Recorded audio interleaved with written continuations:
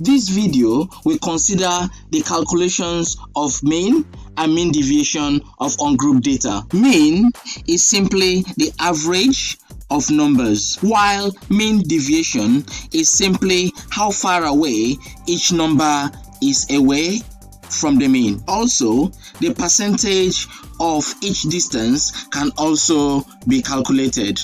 To understand mean deviation, consider this question. These are the grades of seven students in a biology class after an exam.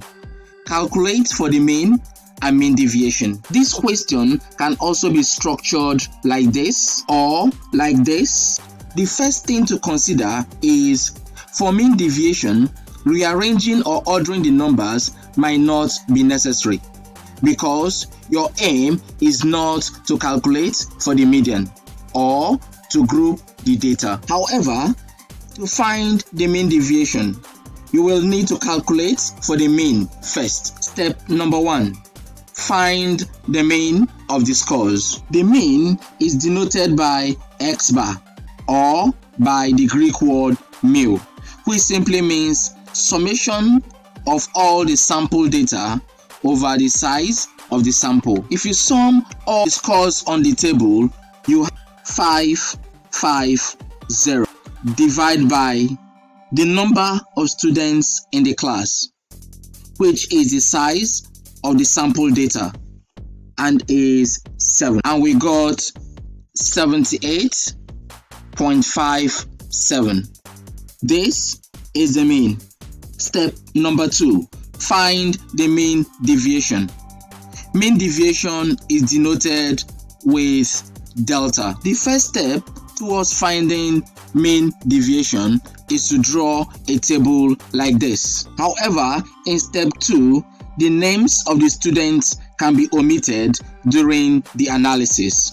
The mean obtained was 78.57. Hence, each row we have 78.57 which is the mean. Next, the mean will be subtracted from each score. Next, compute for each row. After completing the mean minus each score, which we have done here, next is you consider the absolute value of each of your results. If you decide to do the score minus the mean, you will still get the same answer because absolute value rejects negative. Hence, it's going to take away all the negative from each answer. Next, sum each of the absolute values that you have taken away the negatives from. And the sum is 29.43.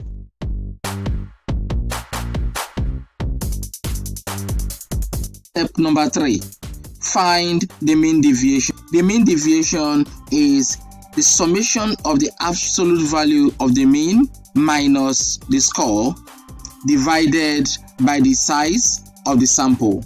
This can also be used if you use mu instead of x bar. Also, if you had used the score minus the mean, then this will be fine or if you have used the score minus the mean when you have not used x bar. This will also be fine. However, for this question, we are using this because that was what we used from this table. Hence, our mean deviation becomes 29.43 divided by the size of the class. Our mean deviation becomes 4.20. Mean deviation signals how far away each considered number is from the average. The variance and standard deviation does the same but using different formulas.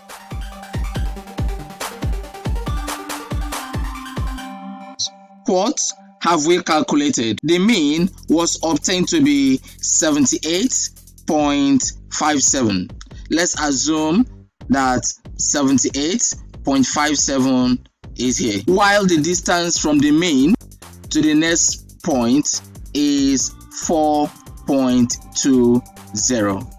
The next distance is going to be 8.4 while the next distance is going to be 12.6. The next distance is going to be 16.8. Try out this question and this. Leave your answers in the comment section.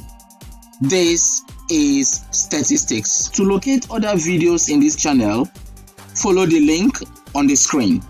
The next video is on variance and standard deviation of an ungrouped data. I will see you in the next video.